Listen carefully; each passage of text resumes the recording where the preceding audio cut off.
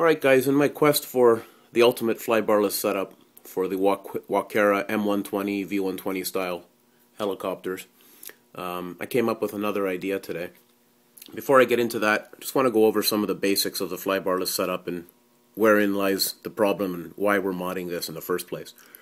This is the original um, follower or swash lock or um, washout base that Walkera uses in the, in the uh, standard setup. The problem with it is these arms pivoting on bushings have very thin amounts of metal left, very thin, about 20 thou, and tends to just blow up and self-destruct kind of at the most inopportune times.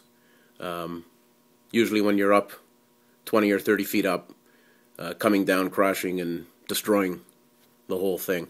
So it's got to go. And if you haven't changed it, um, you're going to very soon if you keep flying your heli. So I know they've come up with version 1 and version 2 and version 3, etc., etc. Doesn't cut the mustard, in my opinion. Micro Heli came up with theirs, and it's a lot beefier, you'll see. It's a little chunkier. And the big difference is the arms. Look at the size of those arms and they're supported on bearings instead of bushings. Now, this seems good until you use it um, 10, 20 flights or so, and you get this. Okay, a lot of play. Um, this kind of a setup, washout type setup, works great on my T-Rex 250, on my 550, on 600 and 700 size machines but they're big and they've got meat and they've got some strength. This is just too complex of a tiny assembly that is put under a lot of stress um, and just can't take it. Especially with the high powered setups that uh, we tend to punish these machines with. Maybe in the stock form it's fine. And we're just not meant to be messing with the mechanics here. So, Heliworks came up with their style head, and I came up with my style head uh, a couple weeks ago, and I've got a fixed follower um, made out of aluminum onto the aluminum head, and it's indexed onto a couple of flats so it can't turn, um, locked in place. The other thing I like about this head is that I drilled a hole up top taking advantage of the longer M120 shaft, or on the V120 even that shaft. But because I didn't need the room for that fancy follower down the below, I extended the head deeper, and so the shaft is now guided um, for about 10 millimeters here from the bottom right to that hole. That makes it very rigid. Okay, there's absolutely no slop, no play. Uh, the stock setup, the Walkera one, you'll see the hole is about three millimeters above. And over time you get and you can't really see that maybe but you get a bit of play okay? Plus it's soft metal. Uh, it tends to wear. After a couple crashes you get this you can feel it here clickety clack bit of play. So um, not a big fan of that. However it really does the job if it weren't for the whole swash problem. So not everyone can afford um, to go and upgrade their head to something like this or the micro heli one. And I don't blame them. Spend a lot of money in the first place to buy your heli and it's a shame that you have to go spend more to get it to actually work. So taking a look at the Walkera head this one's gray because it's off of my M120 but the V120 would be red and be identical. You'll notice it's flat on these two sides okay and tapered okay. By tapered I mean it's bigger at the top smaller at the bottom okay in both directions. I wanted to take advantage of this in the design and see if I could do something in terms of a follower. And I've seen some followers lately online that people had made, and they seem good, and I'm not going to take anything away from them. They're very uh, usable designs. But I wanted to do something that would help the geometry a little, because what you'll notice about those is if you stop right at the base of the head here, your geometry is going to be a little bit uncentered from the center of the link. and it's hard to see since I don't have it fully assembled here, but um, you want to make sure that your follower is in the center of your pitch link to the blades. So what I did with this follower, you'll see, is I milled a pocket or a recess in there. Okay? And also what I did, um, little hard to see, but you'll notice that the sides here, okay, are flat. This side and the far side, okay, are flat, straight, and then curved at the ends. It's also tapered. I've got a special milling cutter that's tapered. And so, again, it's hard to see, but if you can imagine, this is cut at a bit of an angle, up and down. And what that does, at the end of the day, when I slide it on here and lock it into place, it can only go on in the one direction. See, in this way, it won't go on. But if I turn it 90, click, goes in, and if I seat it a little, press, okay, it's now locked on. Okay, dab of CA or some Loctite, you're good to go.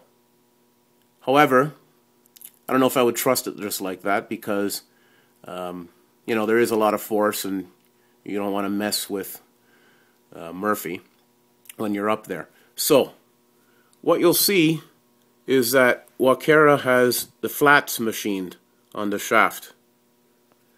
Those are where the screws were supposed to go for that fancy follower that blows up. However, my first idea was to use an O-ring. And if I slide that on, it works. It slides and it goes right and clips into place over those little recesses and this thing will not come off. It's locked on there. But I don't know if I would trust the O-ring, so I figured, you know what, that's uh, fancy, but over fancy. I push it down.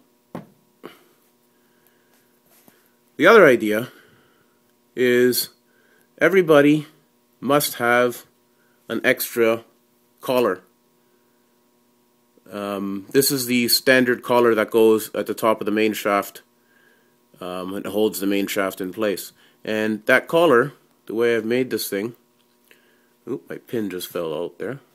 But anyway, uh, that collar slides on and lines up with those holes, and voila, done.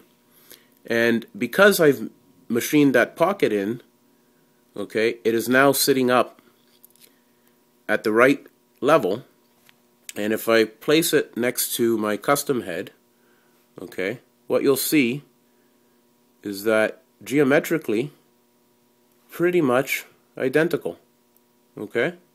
See the center distance from the, where the feathering shaft or spindle would be down to the follower? Pretty much identical. Put them side by side line them up okay? Very good. So geometrically, this is identical to this. You don't go out and spend all the money on this or HeliWorks or what have you. Uh, again, this is superior only because mechanically it's very rigid. Structurally, it's very solid. However, for the money, you've already got this. And if there's nothing wrong with it, don't just chuck it yet. Okay? Again, you've got a collar already, and I'm not here to try and sell anything. So what I'm going to try and do is tell you how to make your own. You don't got to go out and buy a milling machine and make this thing out of aluminum. What I've got here is a sheet of Delrin. Um, now, Delrin's not the easiest thing in the world to find, but I'm sure you'd be able to find a suitable piece of plastic in some way, shape, or form that's not going to be too brittle. And if you do, okay, as long as it's about 3 millimeters, um, eighth of an inch or so, well, maybe a little bit more, what you can do is with your fancy expensive X-Acto knife, trace a pattern, go and do some cuts repeatedly, okay, until you've got the shape of a follower that you've got in your mind. Cut the hole, and you'll notice I've got a, an, a boss here, round, that I turned on the lathe, but you don't need that either. If this was just solid and you cut, okay, this shape is all you need. This oval type of shape, okay. Now, all you really need is it to make sure that you're flat on two sides, okay, and take your time and cut um, little at a time, test fit it until you're happy, and because it's plastic, it should be able to seat pretty good, and little by little shave or file down until this slides over and wedges itself on. And make sure that you've got no play in this direction, okay, like I've got here. Make sure this doesn't wiggle. And slowly, slowly with the X-Acto and a piece of plastic, wedge it on there, okay. Then grab one of your main shaft collars, slide the main shaft collar on, tighten it up against those existing flats that are on the shaft, and you're going to have your own DIY follower that will work identical to what I've got. Okay, as long as you're patient and do a good job um, with the plastic, it will work and it will be in many, many ways superior to the stock way of doing it. So I hope some people out there have the guts to try it and maybe the time and the effort to uh, post something that they've made. And if you do get around to it, I'd love to see it. Um, again, I'm not in this to try and make any money or anything. I'm hoping people can take a look at the idea and do it themselves. Um, plastic's easy to work with, and it will do the job. Hope this helps, guys.